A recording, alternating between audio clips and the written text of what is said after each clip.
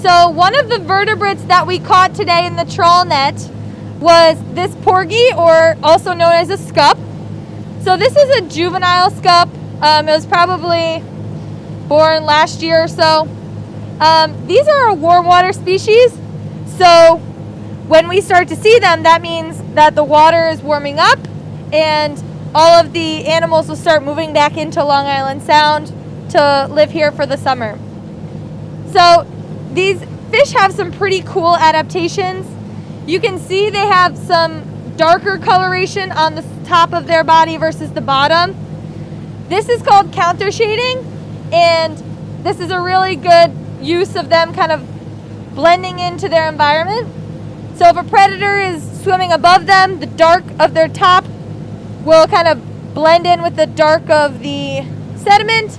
And if there's a predator below them, they have a light bottom, so it'll blend in with the brightness of the sun from above.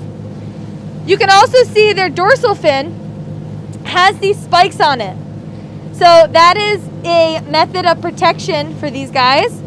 The hope is that if a large fish goes and tries to bite them, they will get a mouthful of spines and hopefully spit them out.